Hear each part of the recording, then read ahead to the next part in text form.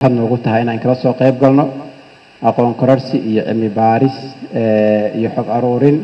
Intaaba maalmihii shalay iyo maantaba aa qaadanayseen waxaan aada ugu mahad celinaynaa guddoomiyaha xarunta iyo howlwadeennada iyo la taliyaasheedaba inay yimaadaan deegaanada galmudug ayna ka sameeyaan xog aruurin go'aan looga gaarayo ama lagu biirnaayo siyaasadda soomaaliya sanadka ka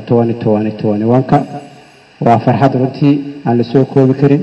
Waxaa isleenahay waxay qayb ka tahay galmudugta cusub iyo wejiga cusub ee galmudug ay yeelatay in aqoon isweydaarsiga iyo xog aruurintan laga sameeyo.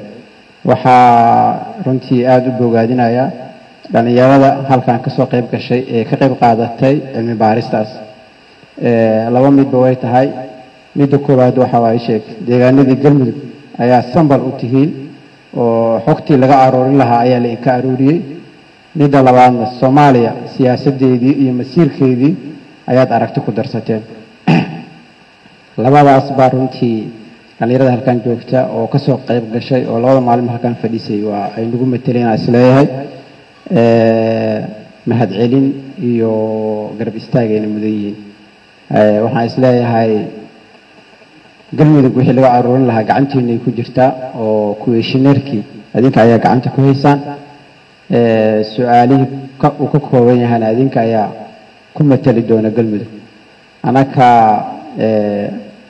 keliya waa dhiiragelin iyo inaad boogaadino in xaruntu marar badan halkan ay ku soo laabato. Wasiir khadar ayaa iga dambeyn doona.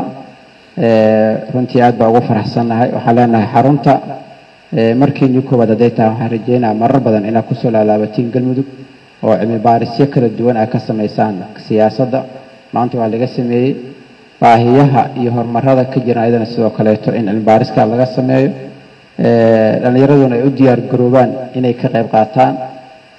Ay noqdaan dadka kii informatifeka ah oo xogta deegaanka la raadiyo.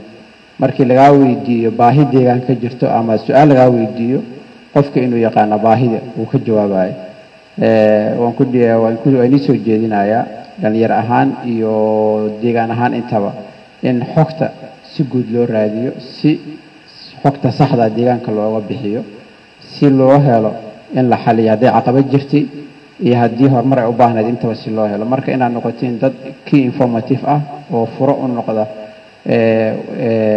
xogta la aruurinayo iyo deegaanada galmudug waxa ku saabsan hadal badan ma soo jeedinayo waqti badan aad joogteen. Waxaan rajaynayaa cilmi baaris aad samayseen iyo su'aalihii aad ka jawaabteen iyo aqoon kororsiga halkan aad ka faa'iideenba. Inaad dadka reer galmudug uga faa'iideyn doontaan intiinaan aada sii gudbisaan dadka kale iyo dhallinyarada kaleetana aad sii gaarsiisaan.